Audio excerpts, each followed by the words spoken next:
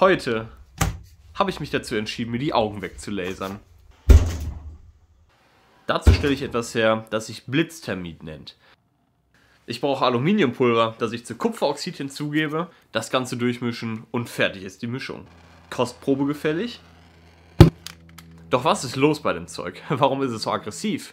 Kupfer ist ein relativ edles Metall, das bedeutet, es hat keine Lust auf sein Oxid. Aluminium hingegen ist unedel und freut sich über das Oxid.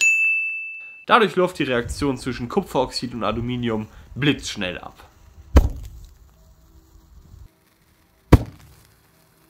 Was geht da denn ab? Ich habe es für eine gute Idee gehalten, mehrere Gramm mitten in meinem Abzug anzuzünden. Der Blitz war so hell, dass meine Augen trotz der Sonnenbrille einfach weggelasert wurden. Uh, Kunst.